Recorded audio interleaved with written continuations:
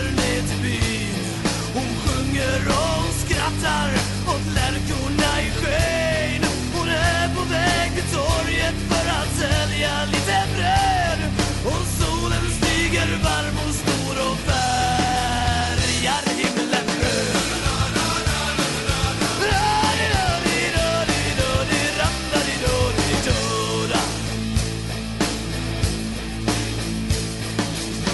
Då möter hon en herre och en häst med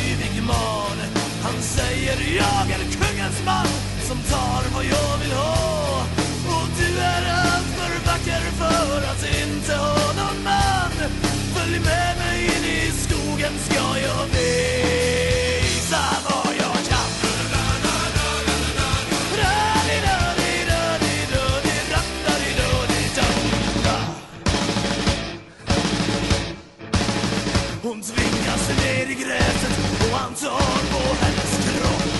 Hon slingrar sig och ber honom för guds skull hålla upp Men redan Nora skrattar berusad av sin glädje